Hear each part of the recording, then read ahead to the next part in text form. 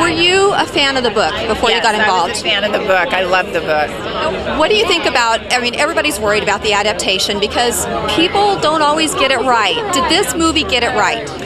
I think the movie got it right. Kathryn was there. This was her best friend that did it. They, uh, it's it's really a, an absolute kind of true expression of her voice.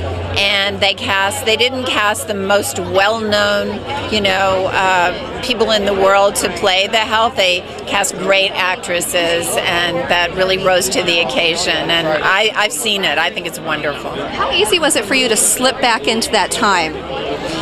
Surprisingly easy. as soon as I put those gorgeous clothes on, it was done. It was done. It was, uh, you know, they they they had me at hello with the fabrics. Let me tell you, she showed me. She said, "We're going to make you a suit out of this," and they sent me.